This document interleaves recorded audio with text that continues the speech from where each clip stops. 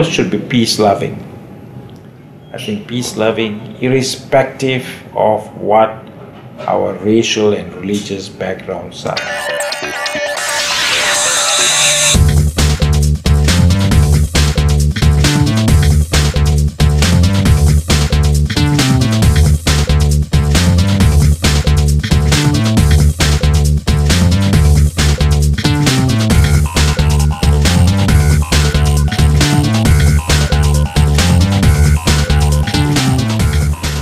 Arrive in Kuala Lumpur for the first time, you can't help noticing that Malaysia deserves more attention from the outside world than it actually gets today.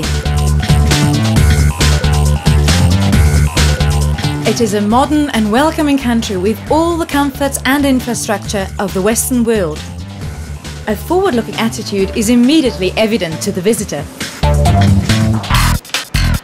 The city centre is dotted with huge artistically built skyscrapers the roads are clean and well paved, most of the people speak English besides the native language, and services are generally of Western standards. So the obvious question is, who are these Malaysians? How the name Malaysian appeared was, this country used to be known as Malaya. And when it used to be known as Malaya, we used to be known as Malayans. We got our independence on 31st December 1957 from the British. But the first Prime Minister, the Honorable Tunku Abdul Rahman, he invited Singapore, Sabah and Sarawak to join Malaya. And Greater Malaya became known as Malaysia. Subsequently, Singapore pulled out of the Malaysian Federation to become the booming economic city-state that it is today. The climate in Malaysia is equatorial and characterized by the annual southwest and northeast monsoons, and it generally rains all year round. An estimated 59% of the country's total size is still covered with forests.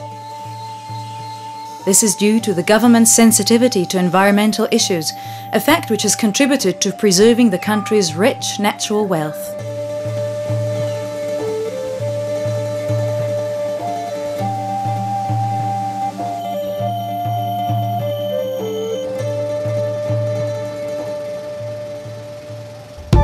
Today's population accounts for about 25 million people, a relatively small population for the size of the country. When you travel in Malaysia today, you realize the country is populated by many different races.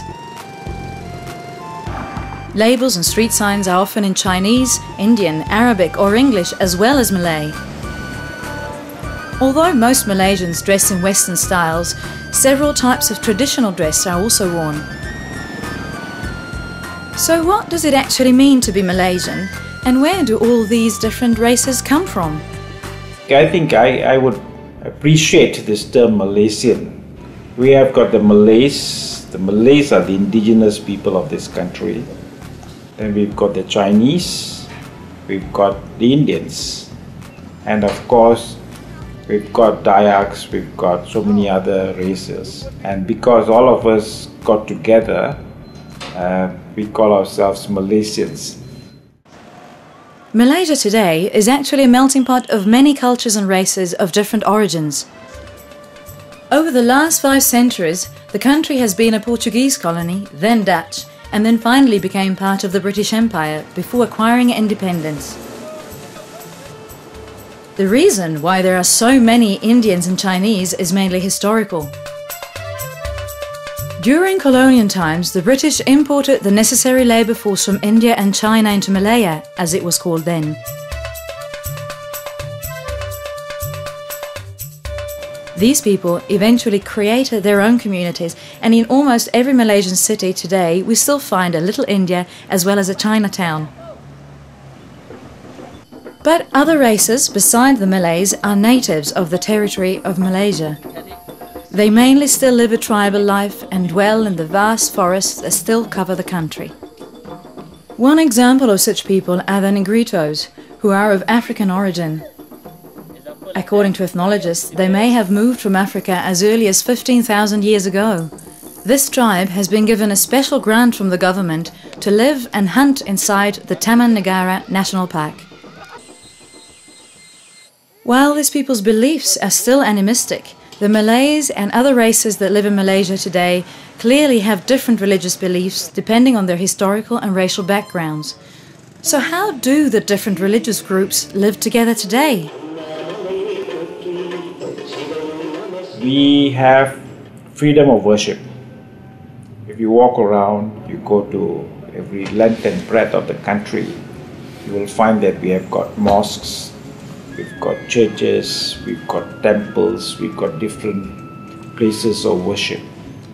Well, of course, uh, the, the, the main religion is uh, Islam, and most of the Malays, the indigenous people, uh, belong to Islam, they're Muslims. Then we've got the Chinese. Among the Chinese, you have got Christians, you've got Buddhists, you've got free thinkers, and of course the Hindus and Hinduism. Though this is an Islamic country, the government has never gone against any religion. In fact, the government has always supported and even given grants to the various temples of worship. However, things were quite different in the past. A legacy of the British colonial system was the division of Malaysians in three groups according to ethnicity. The Chinese were concentrated in the cities, the Indians in the rubber and palm oil plantation areas, while the Malays lived in the rural areas. In the mid 1960s, still less than 2.5% of the corporate wealth in Malaysia was owned by Malays. For this reason, at the beginning of the 1970s, a new economic policy was introduced. This policy set a target whereby within 20 years, 30% of business ownership and admission to universities had to be set aside for the Bumiputras, the indigenous people of the country. This policy still persists in other programs. But how do non Malays accept this controversial new economic policy? We are Indians, having originated from India.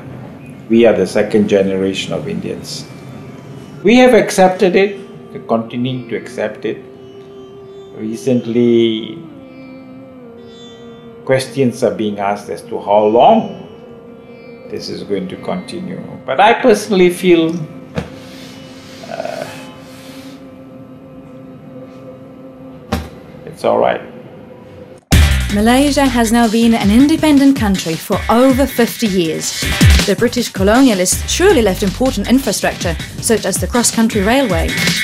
But how has Malaysian economy developed since gaining independence? I must mention that uh, most of the development, most of the progress in Malaya and later Malaysia took place after our independence. For years, Malaysia's economy was based on tin mining, palm oil tree plantations, and rubber tree plantations. At one time, Malaysia was the world's largest exporter of rubber and today is still the world's largest exporter of palm oil. During the 1970s, Malaysia committed itself to a transition from mining and agriculture to manufacturing. Heavy industries developed quickly, and within a few years, Malaysian exports became the driving force of the country's economy. Nowadays, major products include electronic components such as semiconductor devices, electrical goods and appliances. A series of five-year economic plans with government intervention and investments led to developments of the economy, infrastructure and more recently tourism.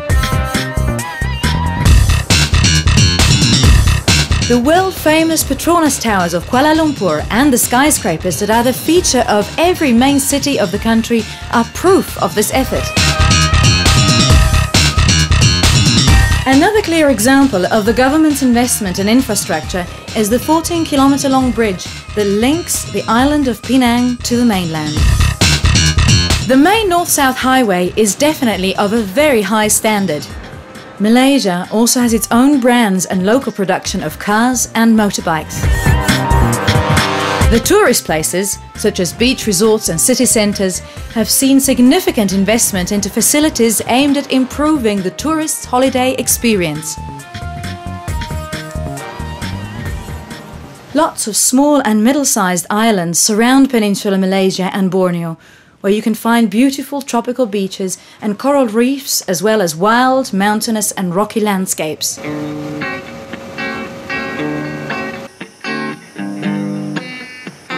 These places are perfect tourist destinations, and the government has invested in the environmentally sustainable development of these small paradises.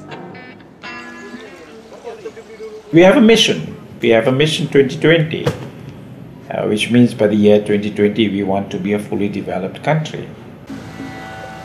But despite its quick and massive economic development, Malaysia still preserves traditional elements such as its old markets and villages, which clearly show its strong Asian heritage.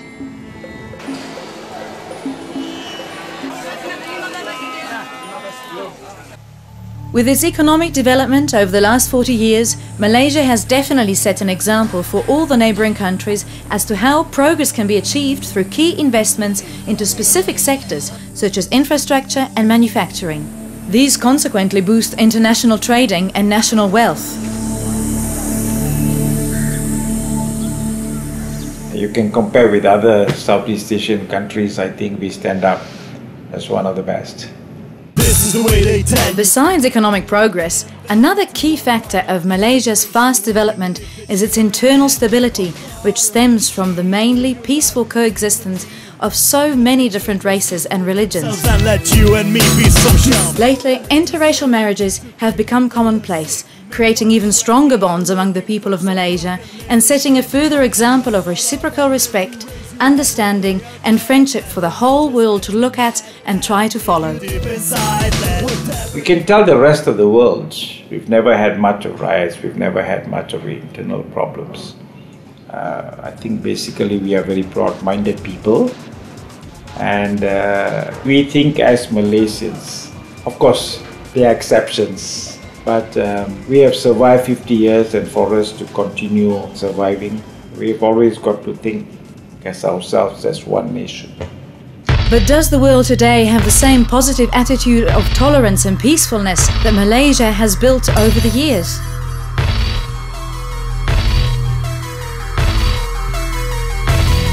See, so much of money, so much of resources are going down because every part of the world, every day, there is a war. There's so much of wasted money going down for the defense of the country. And you've got millions of people who are starving, who don't even have a daily meal, lack of nutrition.